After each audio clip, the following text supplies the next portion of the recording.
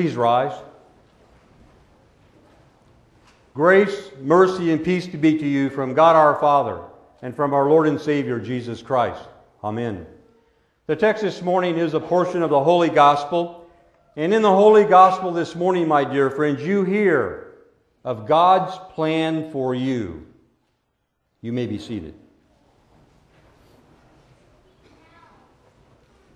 My dear brothers and sisters in Christ Jesus, a number of years ago, there was a book written by a journalist, and he wanted to investigate if the claims about Jesus were true.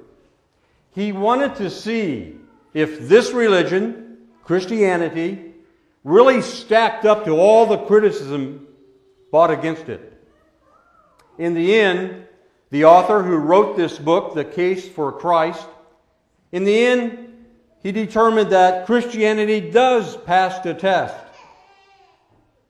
So much so that this author, who was, at an, who was an atheist before beginning this book, he became a Christian. This book, as he studied and as he researched, actually changed his heart. And what actually changed his heart was the Holy Spirit, because it forced him into the Bible to explore, to see, if God's word is truth. And he found that it was. One of the chapters of this book was focused on one question.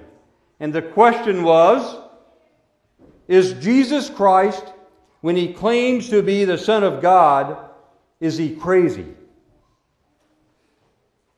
If you stop and actually think about all the things that Jesus said, all the things that Jesus did, some people do come to the conclusion that Jesus was crazy. Think about it. If you meet a person today who says that he is the Son of God and the Son of Man, he claims that he does miracles, that he can walk on water. There are some people who claim that and they can't. But if you meet someone like that today, you would think that he was crazy. So, therefore, I ask you this morning Think of all the things that you believe, all those outlandish things that Christians discuss and talk about. The creation of the world by the power of God's Word. The Holy Trinity, three persons in one God. Jesus, a man born of a virgin. Jesus, be, bo- Jesus being both God and man at the same time? But what is at the heart of Christianity? It is the one thing that not only seems crazy to the world, but it seems that it is foolish, it is offensive. The cross. The cross. God's plan for you. This morning, you will hear that God has a plan. His plan seems foolish to the world, but to you, my friends, it is life. So, together this morning, let's look at God's plan for each of you.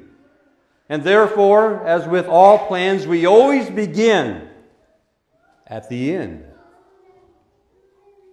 You see, my friends, at the end, Jesus tells us that the plan will not and cannot be changed.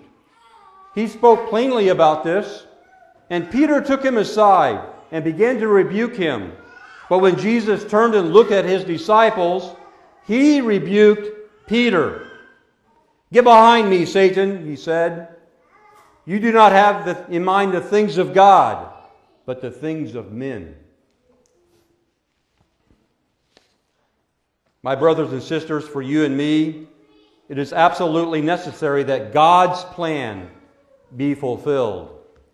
For the plan to fail would mean eternal damnation for every man, woman, and child, without exception.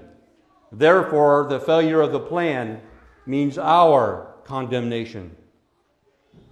To keep Jesus from going to the cross would certainly achieve Satan's ultimate victory.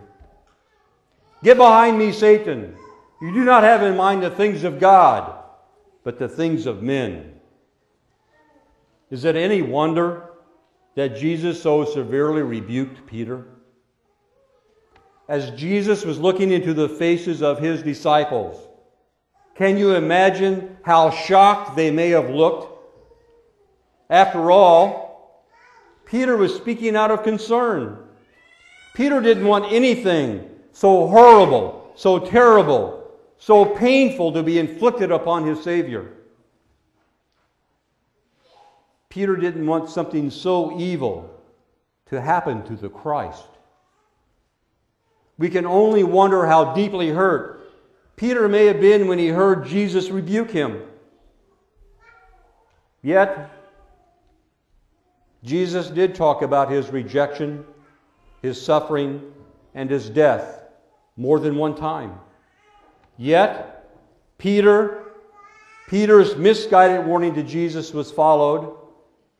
If Jesus actually listened to Peter, Jesus would have been listening to Satan. And your salvation would have not happened. God's plan would have failed. Doesn't that sound so impossible? God failing? It sounds so impossible for us to think that Adam and Eve, who were in perfect union with God, perfect communion with Him, it sounds so impossible that they would listen to the temptations of the devil. Did God really say? and they believed him. One greater than Adam came into the world, and he too was tempted by the devil, but the one who was greater than Adam resisted the devil. The temptations of Jesus didn't stop, though. Satan was literally, my friends, using every trick he knew to trip up Jesus. And it wasn't below Satan to use Jesus' very disciples. Peter's rebuke of Jesus was a temptation of Christ, an effort used by Satan to stop Jesus from going to the cross. So, should you be surprised that Satan uses the same efforts and the very same temptations on you? You who are sometimes weak at faith, fail to realize that sometimes you are under attack. Yesterday, for our LWML fall rally, the ladies heard that the church is always under attack. And my friends, you are the church. Therefore, you are in the crosshairs. You have a bullseye painted on your heart. And Satan is always flinging those flaming darts, trying to draw you away from your Savior.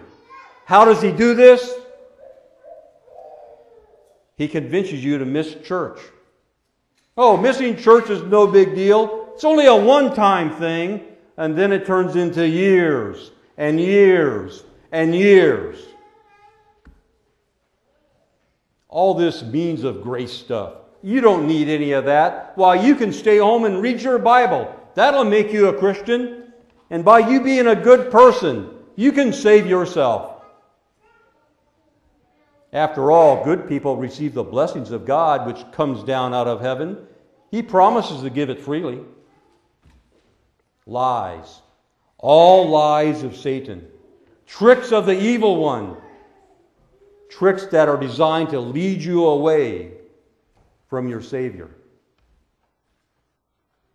So the questions are Are you listening to Satan? Do you really understand God's plan for you?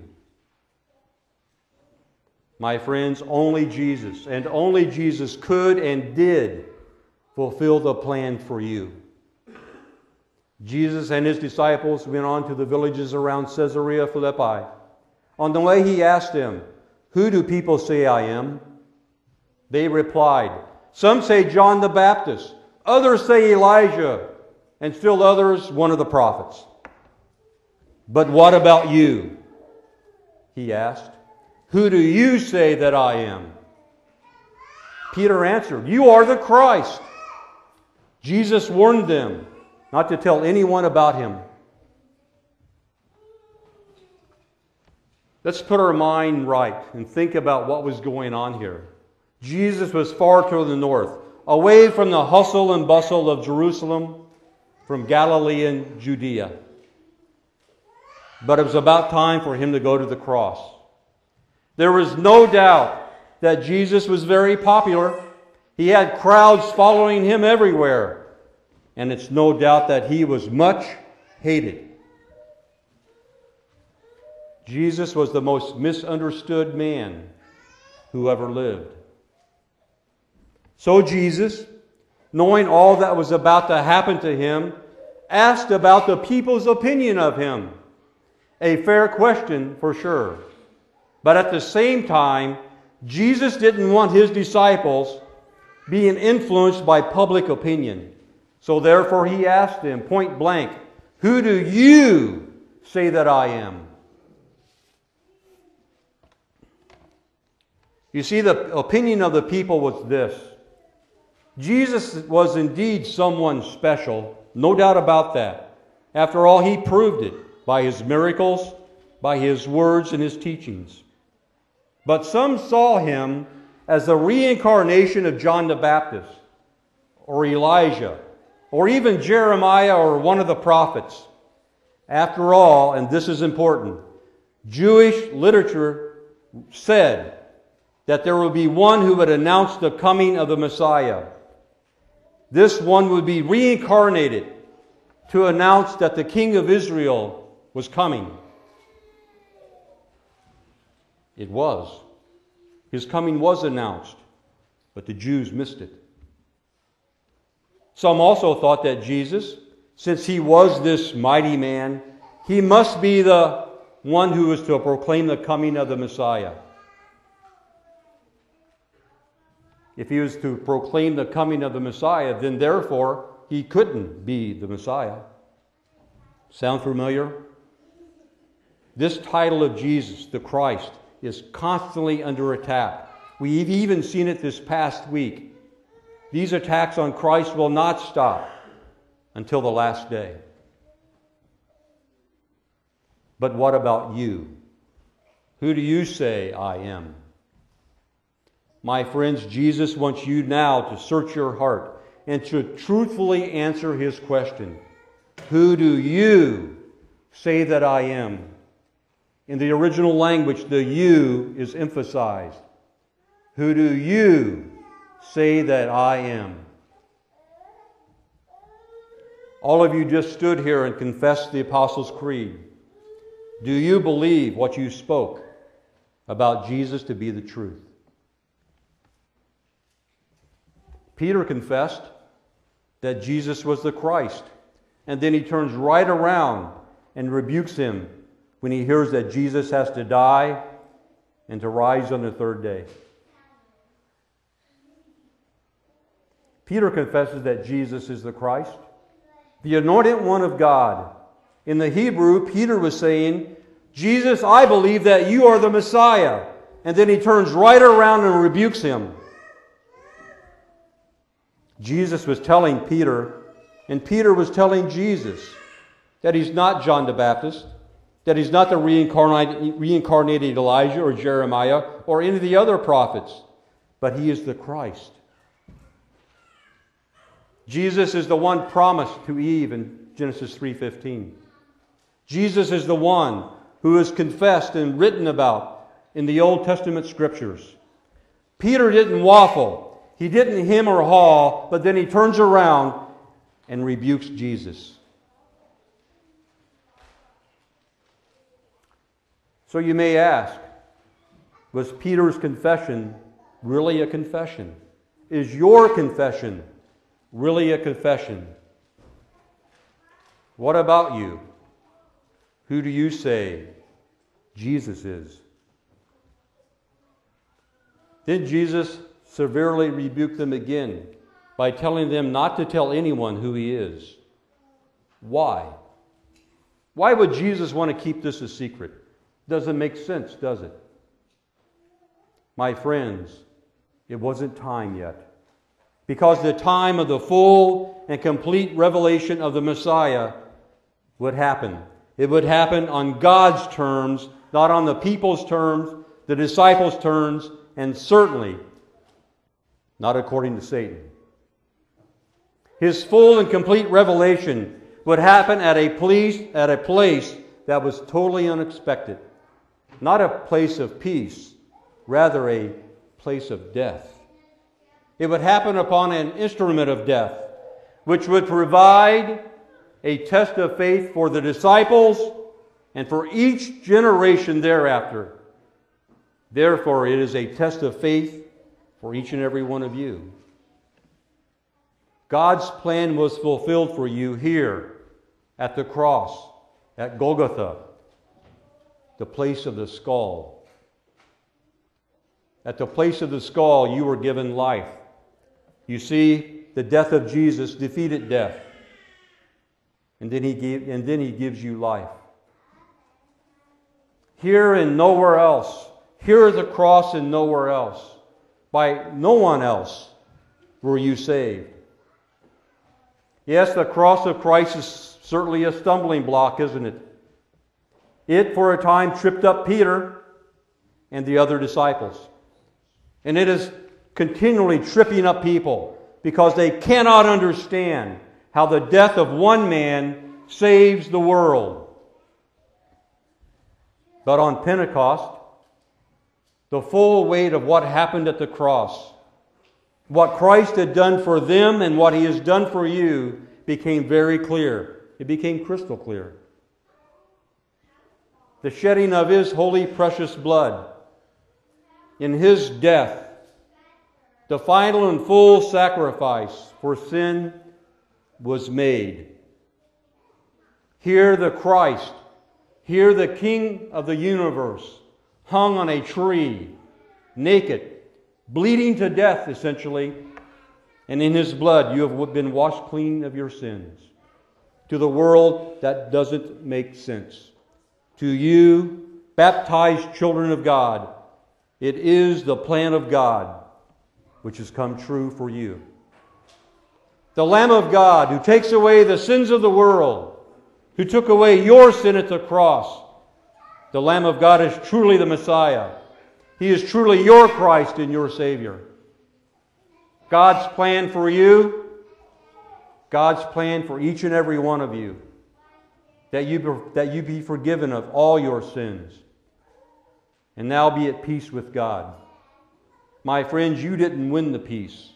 Jesus won the peace on an instrument of death. Jesus reconciled you to your heavenly Father. And now, when he looks at you, he sees the blood of his Son and he is appeased.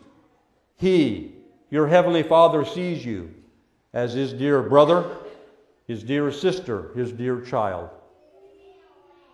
Who do you say I am?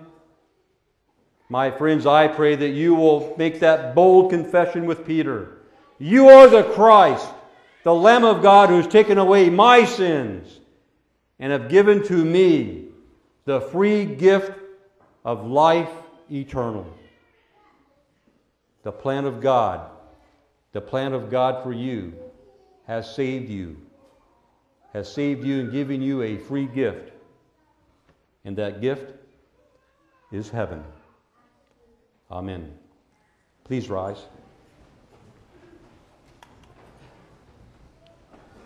The peace of God that surpasses all human understanding. Guard your hearts and minds in Christ Jesus now and forever. Amen.